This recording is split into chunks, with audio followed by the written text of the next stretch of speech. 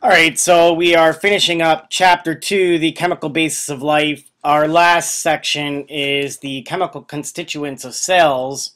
So here's where we're really going to begin to look at uh, the difference between inorganic and organic chemistry. the main objectives in this section are to list the major groups of inorganic chemicals that are common in our cells and explain the functions of each of those groups. And then we're also going to describe the general functions of the main classes of organic molecules in cells. So this would be a basic review of biology uh, when we did our, our, our chapters on basic chemistry and then biochemistry. So it should be a refresher. So as far as uh, chemical constituents of cells, we know that there are inorganic substances that include water, oxygen, carbon dioxide, and inorganic salts. Inorganic substances uh, generally do not contain that carbon and hydrogen, but as you can see in carbon dioxide, there you have uh, carbon atom. In water, you have the hydrogen atom. Uh, they are usually smaller than organic molecules. They usually dissociate in water to form ions. And remember that an ion is an, an atom with a net electrical charge, whether it be a positive net charge, being a cation or a cation, or a negative net charge, which would be an anion. And inorganic molecules uh, include things like water, oxygen, CO2, and those inorganic salts. Organic substances usually contain carbon and hydrogen, uh, not usually, always contain carbon and hydrogen. Um, they are, are larger than those inorganic molecules, if you recall drawing them back in biology. They do dissolve in water and organic liquids. Uh, carbohydrates, proteins, lipids, and nucleic acids are the four major groups of organic molecules. So inorganic substances themselves are small compounds that do not contain the atoms carbon and hydrogen. Examples include the inorganic molecules of water, oxygen, CO2, and several inorganic ions. And you can see this in table 2.6 on page 70 of your textbook. Water itself is a, a polar molecule And if you recall from polar, remember what makes it polar is that the electrons are being shared unevenly between that oxygen hydrogen atom. So water is a polar molecule that demonstrates hydrogen bonding and therefore it po uh, possesses some very unique characteristics. Uh, recall hydrogen bonding would be the attraction of a water molecule to a water molecule from uh, molecule A having that slightly negative oxygen atom being uh, uh, bonded to that slightly positive hydrogen atom to water molecule B. So that weak force of attraction there would be that hydrogen bond. Water is an excellent solvent. Uh, many sources uh, uh, are able to be dissolved in water if they are polar. So remember, like dissolves like. So uh, a lot of solutes, many solutes are dissolved in our body's water. Many ionic compounds, such as salts, like sodium chloride, disassociate or break apart in water molecules. Water participates in many chemical reactions in our cells and fluids. Remember that uh, two main reactions when we're looking at biochemical molecules are uh, those reactions called dehydration synthesis and hydrolysis. In a dehydration synthesis reaction, it occurs when water is removed from adjacent atoms of molecules to form a bond between them. So you're bringing those monomer subunits that are going to build these larger macromolecule, uh, macromolecules. Uh, water is going to be removed from those monomers, bringing those together to form the polymer. On the reverse end, you have a hydrolysis reaction, and in hydrolysis reactions, uh, which is a decomposition reaction, water is going to be split, and it's going to break the bonds in those polymers to create the individual monomer subunits. Water is an excellent temperature buffer as well, and that's because of water's high specific heat capacity. Uh, remember that it takes uh, a great amount of energy either to be released or absorbed by water. So when we talk about energy there, we're looking at heat. And um, basically that energy is going to be absorbed or, re or released very slowly. And therefore that would cause water to only change its temperature very slightly. So you don't have these drastic fluctuations in temperature. So that's a, a unique characteristic of water. Water provides an excellent cooling mechanism when we're looking at the, the human body. Um, because it requires a lot of heat to change water from a liquid to a gas, um, and remember when you're going from a liquid to a gas, that would be referring to a phase state uh, and the, the high heat of vaporization. Um, if water does not change form and evaporate, it leaves a cool surface behind, so this would be part of sweating. And water also serves as a lubricant and we can see water serving as a lubricant in our mucus, internal organs, and it, it, it is uh, also a lubricant for our joints. And we'll look at that a little bit when we get into articulations.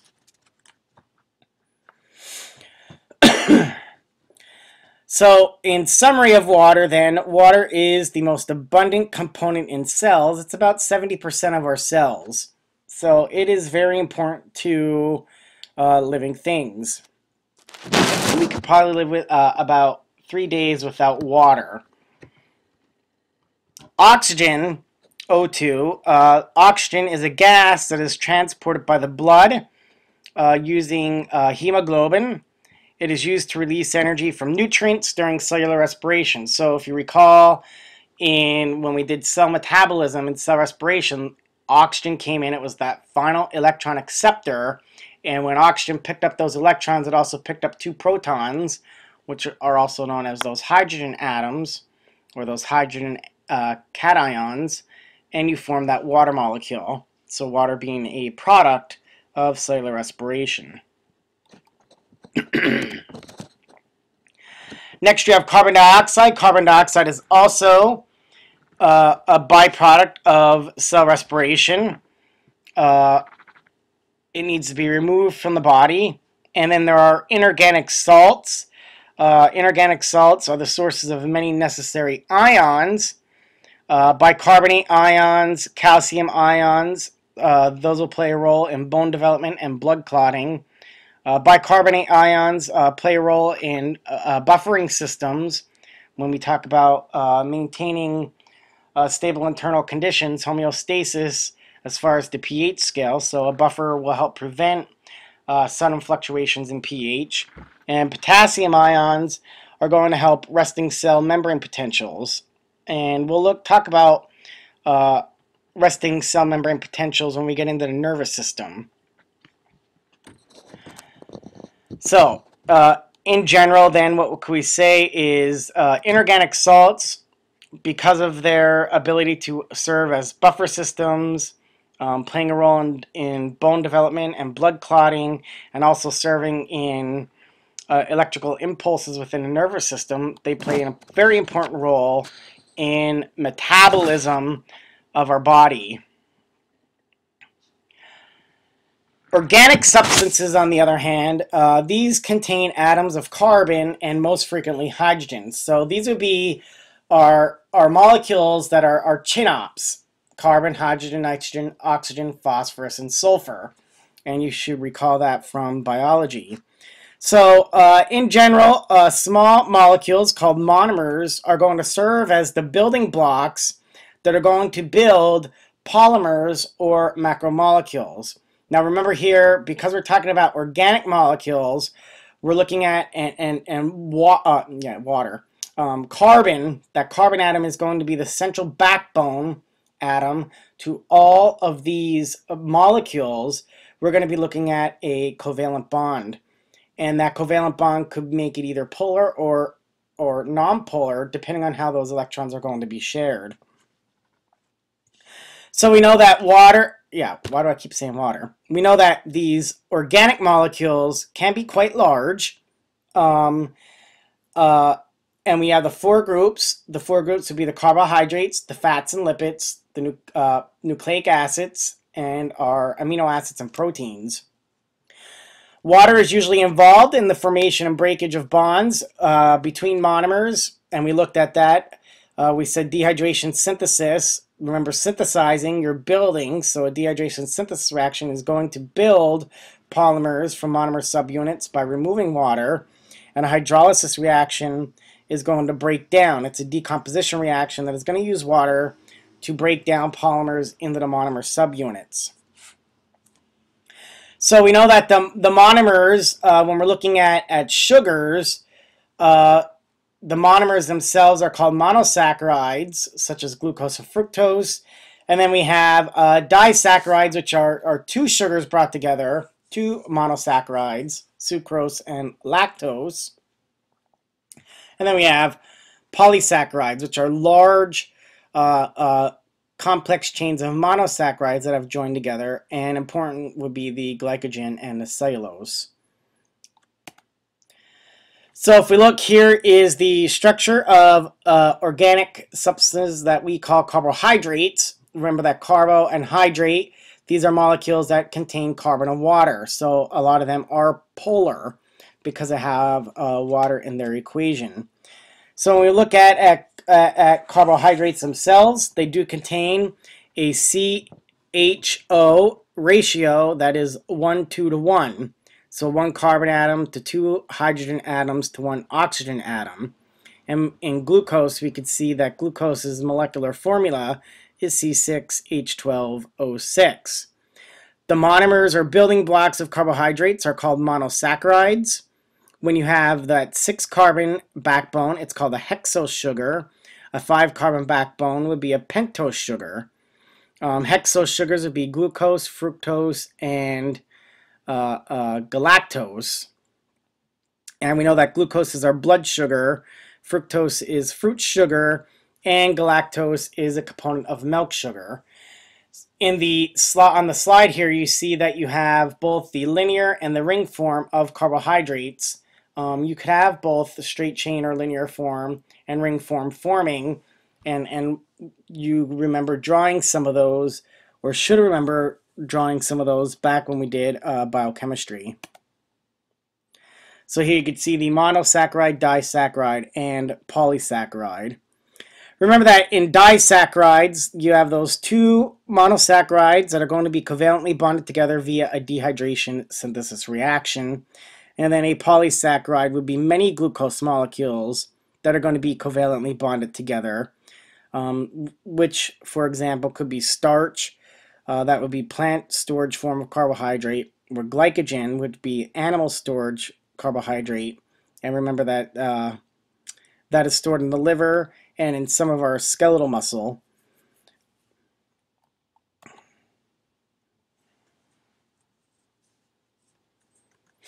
Quick go back. Uh, functions and energy storage. Uh, basically, what we see here with glucose, um, how is the energy that is stored in a carbohydrate released? Remember, in, in cell respiration, and we'll look at this in digestion, you have that glucose molecule that is going to come in. You're going to form water and carbon dioxide gas as a byproduct. So in addition to glucose, in order for uh, you to form that water, you need to have oxygen coming in as the final electron acceptor. And of course, the ultimate output there then would be ATP, which is energy. Our next group would be the lipids. Lipids also contain carbon, hydrogen, and oxygen, but much less oxygen uh, than what we see in carbohydrates. Uh, the types of lipids include fats. Uh, you, you have a fat, uh, the monomer itself the building block is a triglyceride that includes glycerol plus three fatty acids. And you can recall us drawing those uh, back in, in biochemistry when we were looking at um, the dehydration synthesis reaction of a particular fatty acid molecule binding to that glycerol. Um, remember that the glycerol is is um, a little bit polar, having that oxygen, but those fatty acid chains themselves are not polar. They are nonpolar because the bond between that carbon and that hydrogen, uh, the electrons are going to be shared unevenly, creating a nonpolar covalent bond. And when we look at that a little bit more, uh, we'll, we'll talk about uh, whether it's going to be soluble or insoluble in water. So when we look at the types of fats, uh, there are those fats that are saturated fats and those fats that are unsaturated fats. And in the diagram here, here you can see a saturated fat and down here you can see an unsaturated fat. And remember that the difference between a saturated fat or an unsaturated fat is that carbon-carbon double bond. So when it's fully saturated up here, it's saturated with all hydrogen atoms going around the carbon backbone.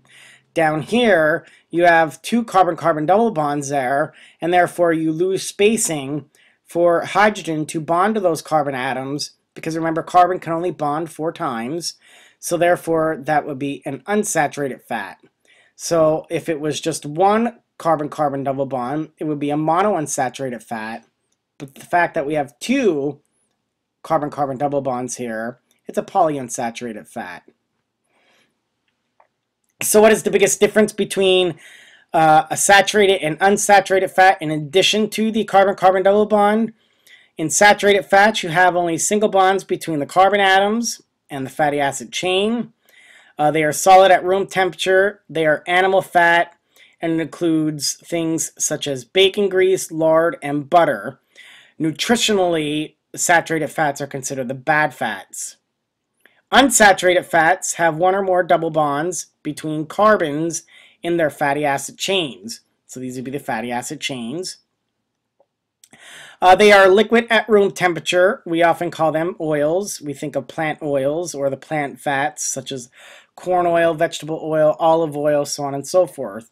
And we do consider these unsaturated fats as the good fats um, of our diet. You also have those fats that are trans fats, and trans fats themselves, uh, these are unsaturated fats that have been solidified by artificial means.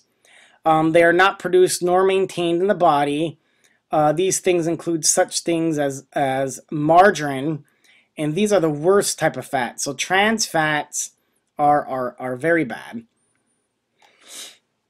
So functions, functions of fat. It's uh, uh as far as uh, like sugar, it does provide energy. Pro provides a lot more energy than than uh, a sugar molecule, and it's also used not only as an energy source but as energy storage.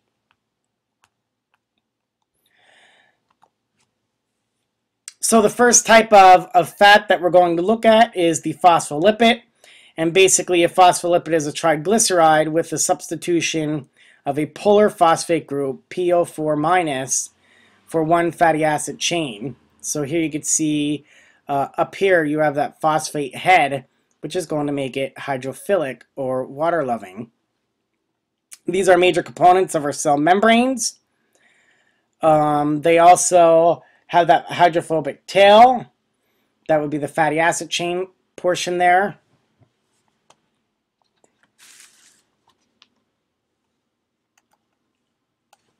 You have steroids. Steroids are four interconnected carbon rings. An example of a steroid would be cholesterol. And the functions compose cell membranes, chemical messengers, and hormones. So hormones play a role in chemical messaging. Uh, you could see uh, compare and contrast triglycerides, phospholipids, and steroids in table 2.7 on page 73 of the textbook. Solubility, hydrophilic. Remember, again, if we go back to here, hydrophilic means water loving. And because it's water loving, you would say that it's soluble in water. And then the fatty acid portion would be hydrophobic. Hydrophobic means that it would be insoluble in water. Or we say lipophilic. And if it's lipophilic, that means it would be soluble in lipids. So these are important in membrane transport uh, when we talk about things crossing over that cell membrane, the phospholipids. So the head is hydrophilic, the tail is hydrophobic, but in opposite of that it would be lipophilic. All right, proteins, uh, very diverse group. They play a role in structural material, energy source, hormones, receptors, enzymes, antibody. They help build things. So on and so forth. Um, the basic structure, you remember that you have that amino group, which is that NHH, and then you have uh, a carboxyl group, C double bond O, OH, and then you have the remainder group, and that's how the 20 amino acids are different from one another. It's that, that remainder group or that side chain group from the amino group or the carboxyl group that's going to make all of those amino acids a little different from one another. Polymers are formed by dehydration synthesis between amino groups of one amino acid and the carboxyl group of the second amino acid. And when you have that dehydration synthesis reaction occurring, so here we could see here, you're going to lose the OH and the H here. You're going to bring two of those together and you're going to form a dipeptide. Three together would be a tripeptide. More than that, you'd start creating a polypeptide. If you have a chain of 100 or more amino acids coming together, then you're in the range of a, poly polymer that would become a functional enzyme. So uh, peptides are 2 to 100 amino acids. Polypeptide protein is 100 to thousandths of amino acids that are going to have that specific function. And then as you start to add on more and more of those amino acids, you start to have those four levels of protein structure coming into play. So if we look at, at, at the um, functions of protein, you could say that the structure, of course, uh, structural proteins would be keratin in hair, nails, and skin. You could have transport proteins, such as hemoglobin, which is going to transport oxygen in our red blood cells. You have chemical messengers such as hormones and neurotransmitters that are going to be uh, protein-based. Uh, you have proteins that play a role in movement, such as actin and myosin in the muscles. And we'll talk about that when we look at muscle contraction. Uh, in immunity, we have proteins that play a role in defense called antibodies. And then, of course, you have uh, proteins that play a role in metabolism uh, that help speed up reactions as catalysts and biological catalysts are going to be called enzymes. Uh, biological catalysts themselves are going to increase the rate of the chemical reaction without being consumed by that reaction because that they lower that energy of activation barrier. So proteins are built from those amino acids and we know that there are levels of protein structure and of course you'd have the first level of protein structure being the primary level and the primary level, recall that it's just that sequence chain of amino acids. And then what happens as you get more and more of those amino acids binding, uh, being added onto that uh, polymer, what's going to happen is you're going to start to get interactions between those amino acids and it's going to start causing that primary structure to twist like a helix, an alpha helix, um, and, and a spiral there.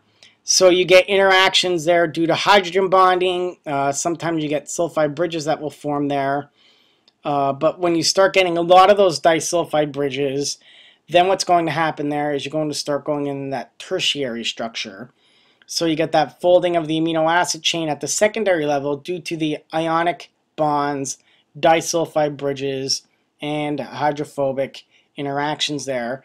And it's basically going to cause it to kind of jumble up and, and twist all about and, and take on a more, uh, what I say in class is, is you get that slinky structure that now starts to fold over on itself and becomes all kinked. And then, of course, you have the quaternary structure, and this would be the interaction between different amino acid chains um, if you take, for example, if you look at figure 14.8 on page 533, you can see that hemoglobin is composed of four amino acid chains that are condensed into a functional quaternary structure.